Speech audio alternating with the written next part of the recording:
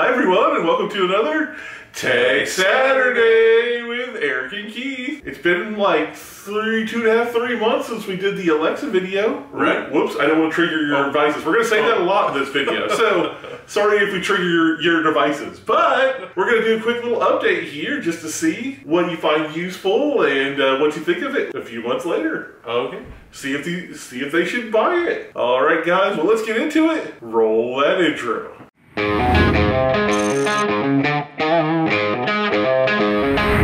Alright guys, well this one we're going to try and keep super short for you. Just want to hit the highlights here. You know, we'll, we'll put two minutes on the clock down here, see what happens, see what happens. We'll see. We'll get close. We'll get close. So anyway, let's throw it over to Eric. And uh, do you think this is uh, Alexa's kind of like a good deal, even you know, two months later?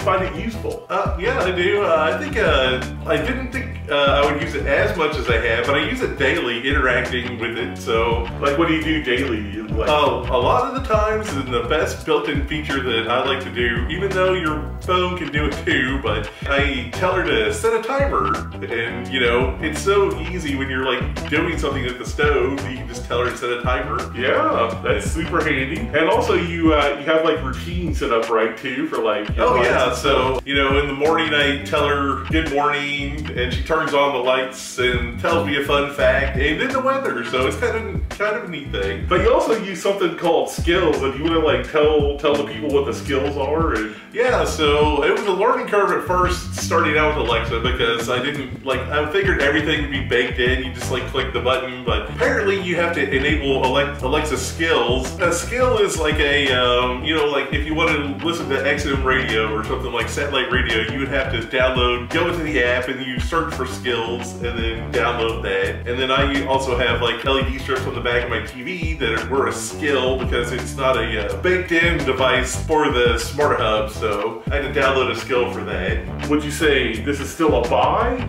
Because you know you sort of like mess around with like Google Home too a little bit over the house. Yeah, I like the the Google Home like has a cool like screen. Alexa has one, but it's it's like more of a communication device, like a phone type of video phone, and I don't think anyone's ready to have a all always on video phone in their house right now. I still think that uh, I made the good a good choice with Alexa. All right, so we're getting a strong recommend still. Strong recommend. All right, guys.